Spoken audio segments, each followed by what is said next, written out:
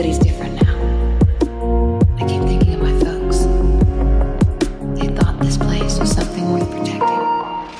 Jesteście niesamowici. Próg 3000 łapek wykonany po równych 6 godzinach. Dzięki.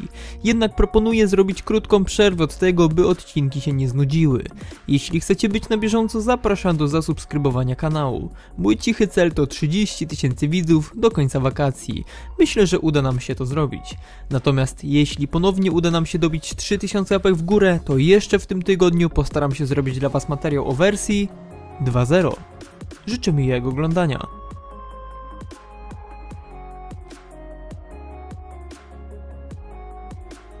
Dispenser sadzący uprawy? Jest to rzecz, na którą czekam od 4 lat, a nadal w grze tego nie ma. Dispenser potrafi postawić głowę liderowego szkieleta oraz dynię dla golema, więc dlaczego nie wprowadzić możliwości sadzenia upraw takich jak zboże, marchew, ziemniaki i buraki? Pozwoliłoby to stworzyć w pełni automatyczne farmy, a dodając do tego kruszarkę z poprzednich filmów, to nie musielibyśmy się martwić o zapas mączki kostnej.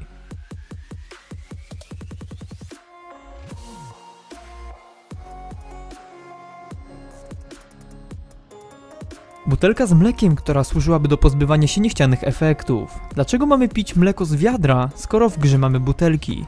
Dodatkowo butelki z mlekiem mogłyby się stakować, dzięki czemu nie zasyfialibyśmy sobie ekwipunku tak jak robimy to teraz z wiadrami z mlekiem, idąc na przykład do podwodnej świątyni.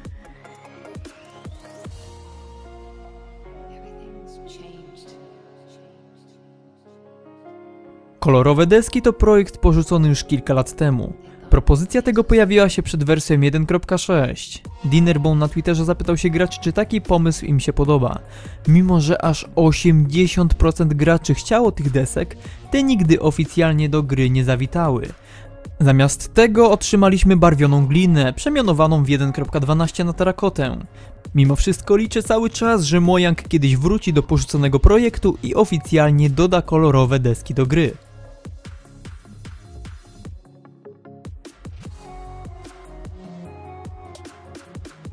Książka alchemiczna, która działałaby jak książka receptur dodana w 1.12.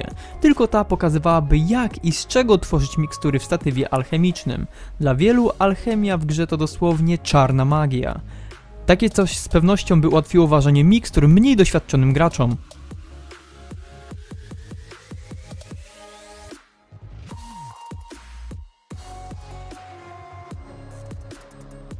Na koniec chyba już tradycyjnie zostawiłem coś kontrowersyjnego. Obsydianowe szkło? Jego ciekawą właściwością byłaby wytrzymałość na wybuchy. Otrzymywalibyśmy je poprzez długotrwałe przetopienie w piecu bloku obsydianu. Tekstura oczywiście mogłaby się znacznie różnić od prezentowanej na filmie, tak jak pozyskiwanie zresztą. A wy co uważacie o takim szkle? Piszcie w komentarzach. Tak prezentuje się moje kolejne zestawienie pięciu rzeczy, które powinny pojawić się w Minecraft. Dziękuję wam za obejrzenie, piszcie w komentarzach co wam się najbardziej w zestawieniu podobało oraz co sami chcielibyście zobaczyć w nadchodzącej wersji Minecrafta.